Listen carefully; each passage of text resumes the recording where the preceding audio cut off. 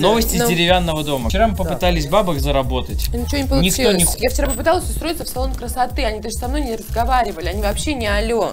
Акулий хрящ укрепляет суставы изнутри, да, и не дает им а, в дальнейшем разрушаться. Что вы делали? Непонятно. Макс нам прод- продавал сейчас препараты, мы экспериментировали его в роли продавца, консультанта Вы много вообще продали лекарств? своей жизни. Нет. Макс, ну давай, сейчас смотрит смотритель, он, вот сейчас ты ему Есть. понравишься или не понравишься. Да, может тебя в аптеку возьмут, фармацевтом. Давай уже говори, как ты продаешь свои препараты? Ну, Я вчера пошла устраиваться на работу, да, и делала ключ в этой ключнице. Это мой ключ? Это ключ от моей квартиры. Ты пробовала ключником работать. Оказывается, все могут нами играть. Да. И мы можем играть с ними. Да, мы как будто в игре Sims, и нами можно управлять, и вами тоже, Милана. Я бы захотела бы играть бы Милана, если честно.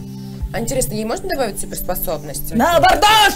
Пробраться бы куда-нибудь на Красную площадь, туда, куда нельзя. Что- Подняться на Задание, крышу и да. сбросить арбуз сверху. А, нас же могут на квест отправить. Мы можем прыгнуть с парашютом. А у нас есть такая функция, чтобы навести скандал, интересно? Мы можем, к примеру, делать какие-нибудь добрые дела. Ну, Например, кормить бездомных. Мы это будем делать не ради того, чтобы типа, показаться хорошими, а Просто потому, что мы игрушки. потому что мы добрые. В зоопарке есть животные, за- которыми никто не ухаживает. И их можно брать себе на попечительство, например. Уважаемые наследники, наконец-то вы пришли к идее про Скотти Прасковьи Смит, походу, была идея, чтобы все, кто смотрели бы это, они бы ну, сближались и становились семьей.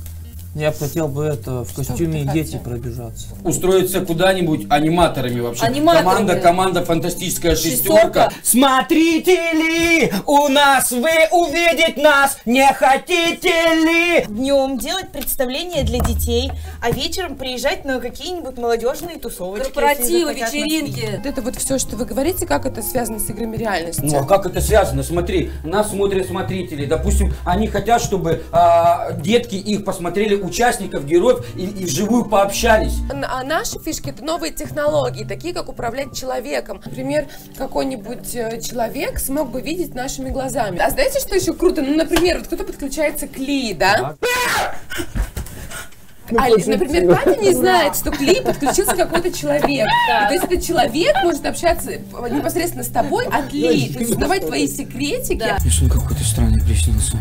Как будто мы очень-очень-очень уже давно друг друга знаем. А если играть в мафию с какими-нибудь зрителями, которые могут одновременно с нами играть? Я хочу в Диснейленд. Может быть, кто-то боится на каруселях кататься. Мне Я кажется, готова сделать это за вас. Ну, По сути, мы вообще должны ходить в какой-то одежде, например, в черной, с логотипом, чтобы люди захотели нас переодеть, например. Ребят, короче, а давайте знаете, что сделаем?